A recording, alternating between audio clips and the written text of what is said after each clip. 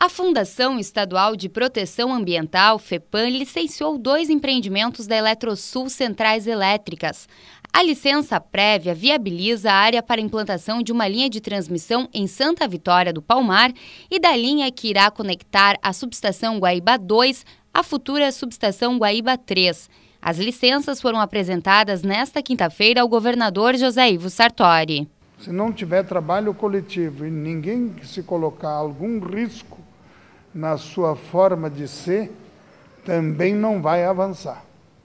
Só se avança quando se tem espírito público e se olha para a sociedade e se vê que é preciso fazer, sem ofender o meio ambiente, sem prejudicar a sustentabilidade ecológica, mas criando as condições de que isso tem que ter é, muita evolução.